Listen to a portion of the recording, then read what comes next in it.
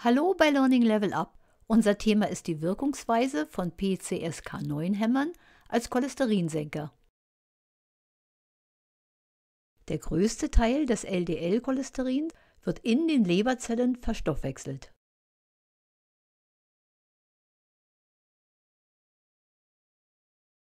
So wird das LDL-Cholesterin durch Rezeptoren, die auf den Leberzellen sitzen, aus dem Blut eingefangen verdaut und wieder freigesetzt.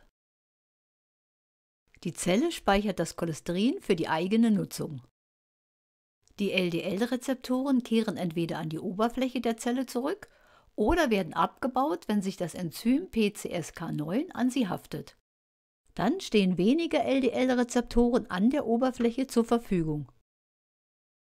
Weniger LDL-Cholesterin kann gebunden werden und in Folge steigt der LDL-Cholesterinwert. Menschen mit einem extrem erhöhten Cholesterinspiegel kann man mit den verfügbaren Medikamenten nur schwer helfen.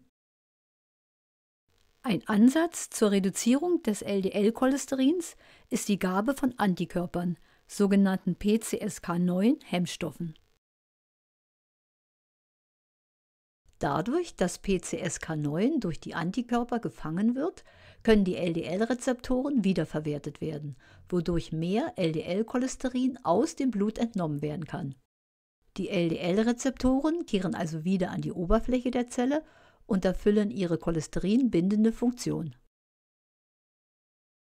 Die Therapie erfolgt, indem die Patienten sich alle 14 Tage mit einem Injektionspen die Antikörper zur Cholesterinsenkung unter die Haut spritzen.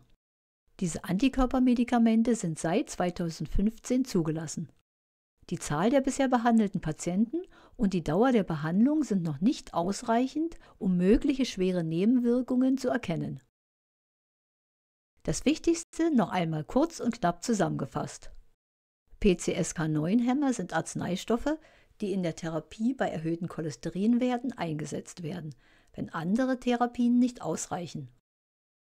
Wenn ihr weitere Informationen benötigt, auch zu anderen Themen, dann schaut doch in unsere Biologie-Playlist. Unsere Lernvideos könnt ihr übersichtlich abrufen unter folgendem Link. Also bis gleich bei Learning Level Up.